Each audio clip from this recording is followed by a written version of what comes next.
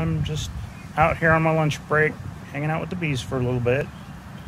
Uh, I'm gonna grab some uh, short little videos and I'll uh, stitch a few of them together and uh, let you guys see a little bit of activity.